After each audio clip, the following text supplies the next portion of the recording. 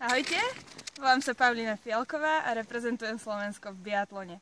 Momentálne sa v rakúskom Obertiliachu pripravujem na majstrovstva sveta, ktoré máme už za dverami.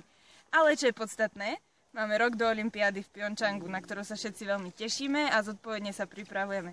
Tak dúfam, že mi budete držať palce, lebo sme jeden tým.